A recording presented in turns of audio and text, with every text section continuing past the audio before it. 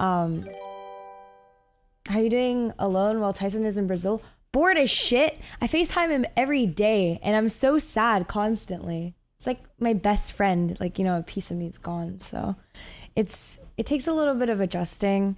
Like at the start of our relationship and everything too, like Tyson was in CS and he had to travel a lot for like Europe. So we would do like sometimes three or four months like long distance. It wasn't as bad because it was the start of our relationship, but now that like I'm always with him, when he's gone, it feels so different. You know?